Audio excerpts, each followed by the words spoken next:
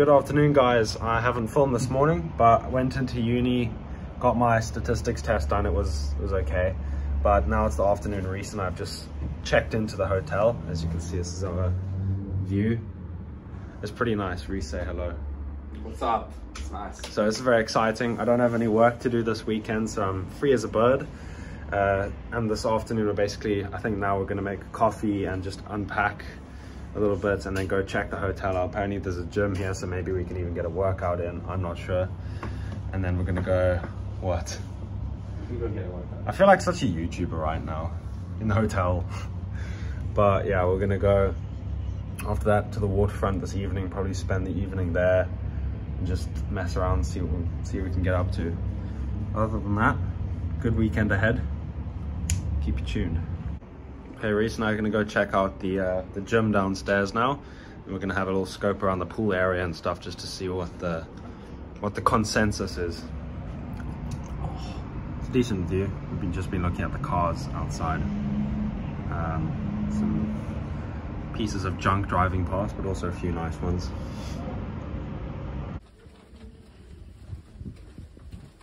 Is it down there? No.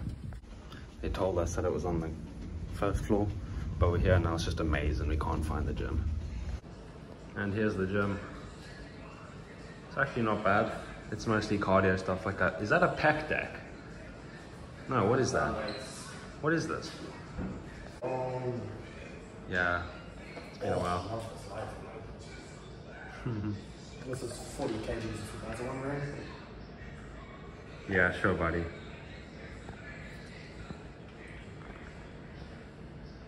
This is actually what I, what I do shadow boxing with.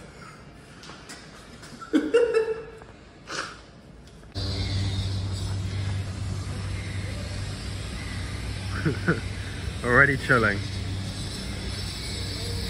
Alright, now Reese and I on our way to the waterfront to go look around at a few things and then go eat dinner. Looking fresh. Hey Reese, I'm fresh, right? Super fresh. Super fresh.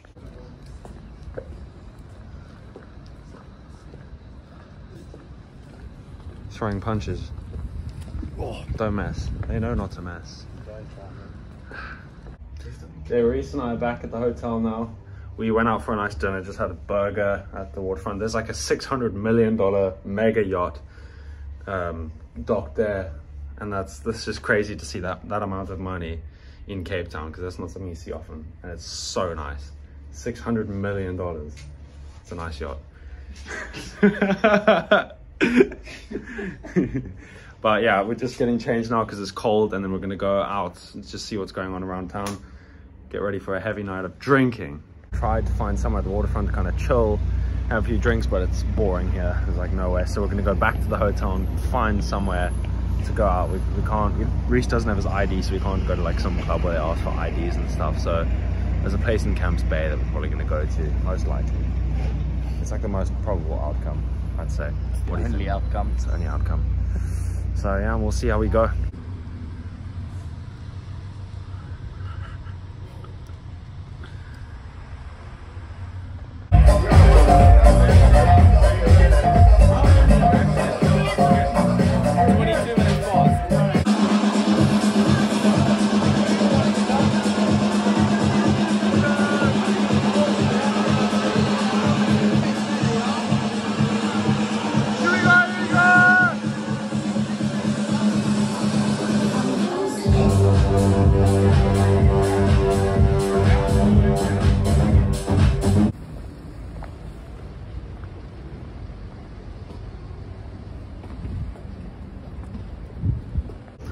Right, good morning, guys. We got in the, to the hotel room this morning at about like, what are you doing?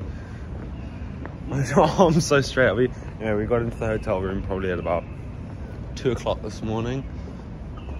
What are you doing? Two o'clock this morning, something like that, and fell asleep. Woke up at six and slammed coffee at breakfast this morning but now we've got the convention on which is in like it's in about half an hour so we're walking over there now because it's not far from the hotel but yeah a little bit hungover today but not bad slight headache but I feel great. So I'll be fine. It's gonna be exciting. Reese, what are your thoughts on the Rich Dad Poor Dad convention? It was good. Is that all you have to say? It was good. Okay, Reese and I just finished up at the convention for the day. We were there for a solid nine hours. It was very, very long, very long. I won't get into the details of it now, but we're going out to the waterfront again. We're gonna meet some friends for dinner. Then nice early night tonight, and then back to the convention tomorrow. Kind of wish we were in town for away for longer. Yeah. Oh well, gonna have a good time tonight.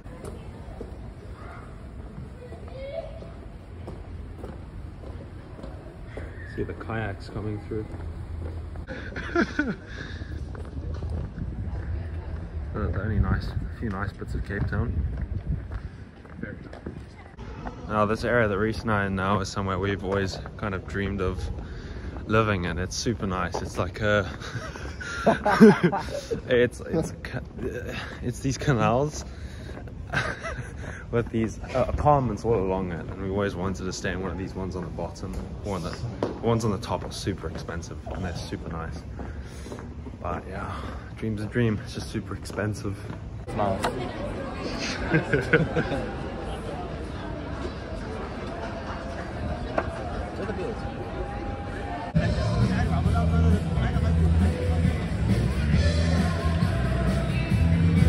So you guys may have noticed that I didn't upload uh, last night Oh, yeah. and I won't upload tonight either just because the Wi-Fi in this hotel is not as good as I thought it was and if I use my data just choose it.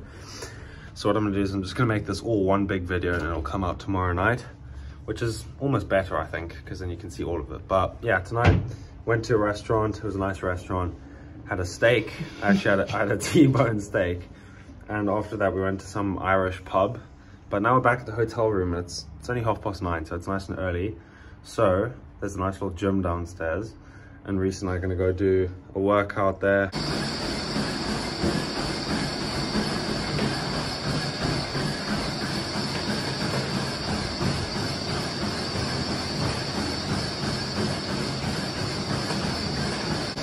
Funny, there's actually two other guys in here working out while we're in here. Did not expect that at this time of night on a Saturday. So the heaviest weight they've got, the 20s. Yeah, that's converted into a flat bench.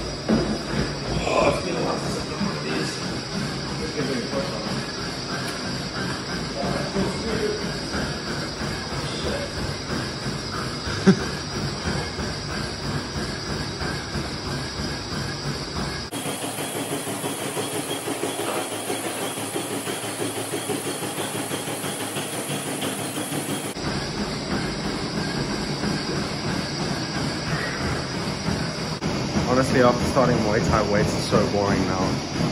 Hey, Reese? Weight, weightlifting is boring. It's so boring. Like, I much prefer to train cardio with Muay Thai.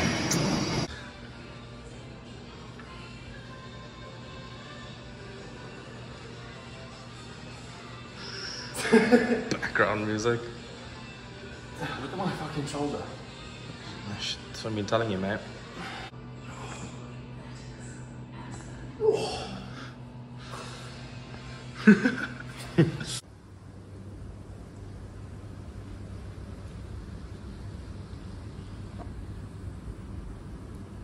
up?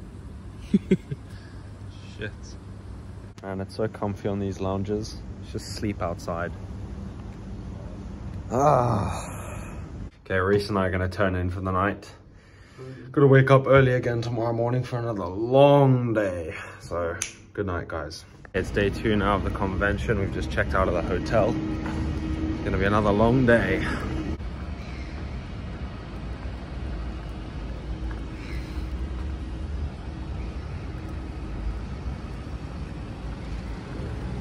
Reese and I are finally done with the convention. It's now like 7 p.m. I will speak more about it once I get home, just because I'm in a bit of a rush now. I've got to get back to the hotel, get our bags, and Uber back.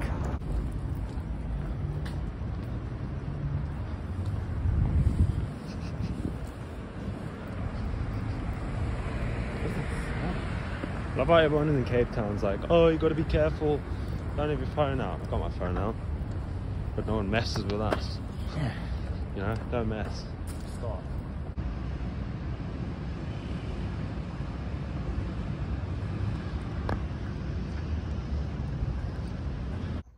And I'm back home. It's good to be back.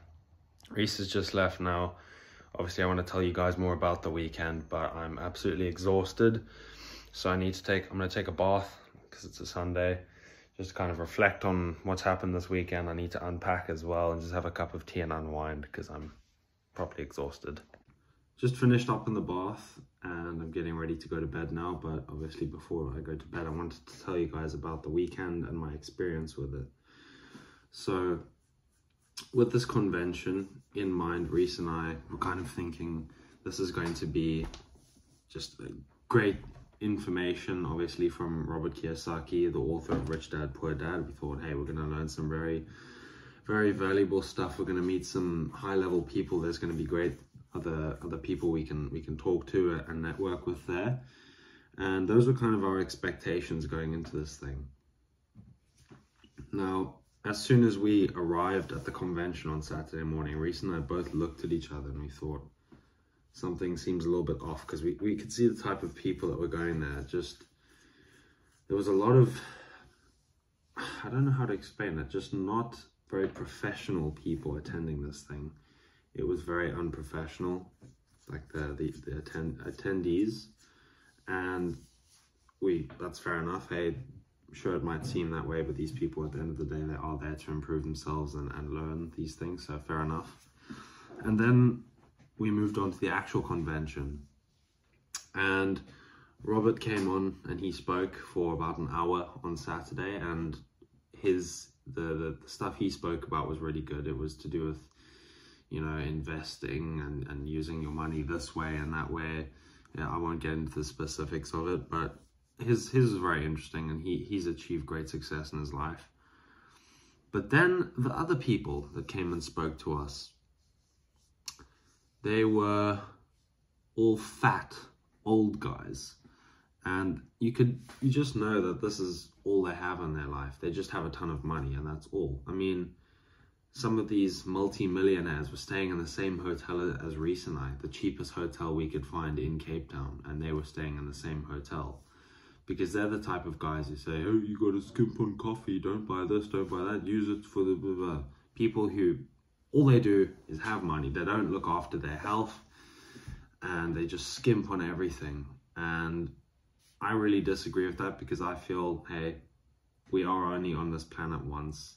Money is there to be enjoyed.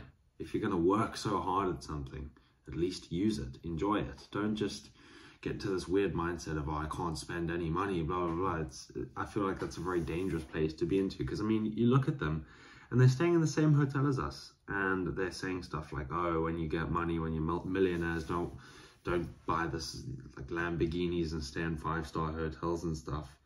And I just thought to myself, why? You have money, enjoy it. Sure, it's not for everyone, and some people might might enjoy their money in other ways, but I feel like that was a very, those aren't the type of people I look up to. I personally know that I want to do very well for myself financially, but I'm going to enjoy it. I'm going to travel, I'm going to get nice things and, and go nice places because I want to live a full life. And yeah, just looking at these guys, they're all out of shape. They don't look after, they speak about all this mindset and motivation and being disciplined and stuff, but you'll see them on their break smoking a cigarette and eating cake. And they're just they're all fat and out of shape. They're disgusting. And i really don't like that. I mean you look at their wives they're all twos. Like uh, just really not people i look up to. And fair enough they know their stuff when it comes to money. They've done very well for themselves but they're just not people i look up to at all. And the whole premise of the convention was basically 10 hours of them telling us, hey, this is how you make money. Oh, by the way, I have a course. And today you're getting it for just this price. And it was the same pitch over and over and over again for 10 hours. Obviously, we extracted information where we could, but Reese and I both, we, we both realized, hey, this is not what we had in mind. We thought it was going to be more of a this is how you should be spending your money when you have it and and spend this much save this much invest this much and and go with these sort of things but it was very much this is how you make money and they were teaching things like affiliate marketing and forex trading and crypto and, and all things that Reese and I have a lot of knowledge on already. I mean, the people in this room, we could see them all frantically taking notes. Like, holy shit, this is new stuff. Reese and I, we've only been in this kind of online space for about a year now, and we we knew all of this. It's like very very low level beginner stuff. I mean, yeah, fair enough for the people in there. I'm sure that was very valuable for them. But for Reese and I, we already knew all of this stuff. And it, it felt like a bit of a waste in that regard. But Reese and I did have fun. It was, we had quite a few, I think we spent the majority of the time in that hall just laughing. We'd laugh at the dumbest things ever. We'd, I think it drove us a bit, a bit nuts sitting there for so long. I mean, earlier on we ended up laughing every time someone coughed or sneezed. I don't know why, it just set us off. And I'd be sitting there completely still, I'd be trying, I'd be like, okay, focus, there's only 45 minutes left of this one. And I'd hear a cough or a sneeze or something. I'd be like, don't, don't laugh. I'd start doing this a little, I'd start laughing. And I'd just see in the corner of my eye, I'd see Reese just covering his face. And you know when you see someone just going like that, I could see him like shuddering and stuff. I'm like, oh my gosh. And it would just, we'd set each other off. I'd start laughing, but we'd be there with tears running down our faces. Obviously not making any sound, but we had a good laugh as well. But a great experience. I extracted what information I could, but definitely not the type of people I, I want to end up like. I don't like the whole very corporate kind of side of, of, of things and, and all these investments and stuff. And it was a lot of it was about real estate and that's not something I ever want to invest in. I don't like the idea of being tied to a specific place and it's just I don't like it. I don't like that idea. I like to be free and I can go here and go there. So yeah uh, very interesting. There was quite a, a decent bit of, of good information. One of the guys I think his name was Sandy Sadeja Shadeda something something along those lines. He came and spoke to us about forex trading, and I know it's something that's been around in the online space for so long, and everyone's going to roll their eyes, but I found it interesting more to do with the economics and, and data side of things because that's my mind. I've got a very, very analytical mind. I like numbers and I like patterns and graphs and stuff. So that was very interesting to me. But uh, I'm not going to do forex trading. That, that I, I prefer to do something with a little bit more more responsibility on me, like looking after other people and where, where you have to focus on many different facets and, and that's just not something, obviously maybe one day once I've got a good amount of money, it's something I can do on the side, but for now that's not my focus. But overall, it was a decent weekend. I mean, it wasn't fun sitting in the same seat for nine, ten hours and then only having an hour break. That wasn't nice. But hey, it's going to be an experience I remember forever and I had a great time out of the out of the hotel. I mean out of the the conference when we'd be doing our own thing going out on Friday. It was nice to feel that kind of independence and that gave me a taste of what it could be like next year once we move out. And that's just I came back home. I was like oh I really don't want to be back home. I just want to be on my own still out there in the in the big world so it, it, was a great source of motivation. Also being in the same room as all these people who, who, do have so much success, it is quite, it's a bit of a wake up call. Like, hey, you're not just in this bubble. There are other people who want the same things you want and you need to fight. You need to compete with these people and destroy them. And my mindset is, is, has, is and always has been, I can walk into a room and I will look at people and I'll be like, whatever these people do, I can do myself. I know if I, it doesn't matter how long it would take me, I know I could do it and I could do it better. And that might be arrogant or it might, some of you might say I have an ego, but it's always worked for me. It's always served me well. It gives me a source of confidence. If I walk into somewhere and I look at someone who's done, I mean, I'll look at these people, I'll be like, it does take a lot of hard work and it might take me long, but I know for a damn fact I could do what they're doing, if not better than them. So that's just the way I am. But yeah, that's pretty much my, my thoughts on the whole weekend. I hope you guys enjoyed this video. It's a bit nice to have a longer video where you can kind of see the lifestyle a little bit more. But tomorrow, back to work, back to normal routine, back to uni. yeah. Oh, and also I'm I'm doing the I'm starting a keto diet because this this past week I've indulged on sugar and stuff, which is not good. Which is kind of hypocritical. I was just talking about these fat people, but it's not all the time. They're they're constantly and they're just these massive bloated old guys. Anyway, beside the point. I'm starting keto. I need to go back to it. it keeps my mind sharp. That's the plan. It's gonna be a good week. You guys can go like, subscribe, comment follow me on Instagram. Hit me up and send me a DM over there if you have if there's if you took any sort of value from this video, send me a message telling me, hey James, I learned this today. Thank you. I disagree with you because of that and this. Anything like that, send me a message. I'll see you guys tomorrow.